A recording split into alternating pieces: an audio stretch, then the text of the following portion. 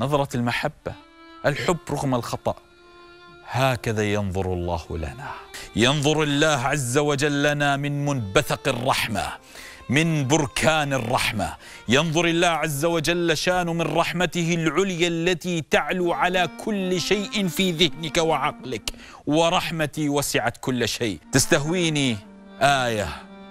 سبحانه وتعالى حينما قال جل وعز قل يا عبادي الذين أسرفوا على أنفسهم لا تقنطوا من رحمة الله. إن الله يغفر الذنوب جميعا. هل يشقى مع الله أحد؟ هل ييأس من رحمة الله أحد؟ يا رب اغمسنا في رحمتك. كم تعجبني آيات الرحمة حينما تتجلى على قلبي.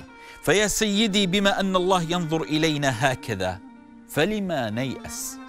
نعم أعلم هموم الدنيا كثيرة وأوجاعها مؤلمة وبالكاد بالكاد بالكاد أن تشعل نور الرحمة في قلبك.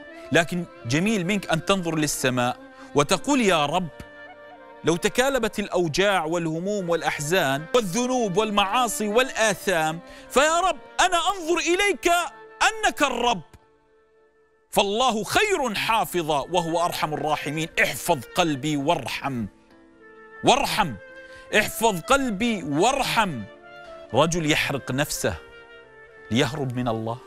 يقول لأبنائه لئن قدر الله علي سيعذبني. هذا الرجل يخطط ليهرب من الله. احرقوني. نصفي في البحر ونصفي في البر. احرقوني. لا أريد أن ألتقي بالله.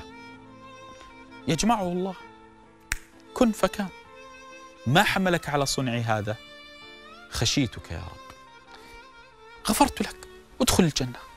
أعطني وصفا لهذا. فانظروا لله بعين حسن الظن. يغدقكم الله في الرحمة.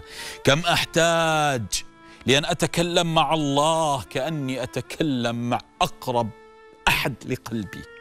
كم أحتاج حينما أسجد أن أخاطب الله عز وجل شانه بكل ما يجتاح قلبي؟ اللهم أنت ربي وأنت خلقتني وأنا عبدك وعلى عهدك ووعدك ما استطعت.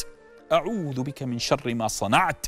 أحتاج أن أخاطب الله عز وجل شانه بكل حواسي بكل نبضي بقلبي أن أندفع إلى الله دفعا ليسمعني جل وعز وهو السميع العليم حتى يربط على قلبي وأقبل على الله حبا رغبة فالله يحب من يقبل له حبا. رب المحبين رب السلام رب الأديان رب الناس أجمعين هو الله حري بنا أن نأتي إلى الله بقلوب تعلم أني أخاطب الرحمن الرحيم.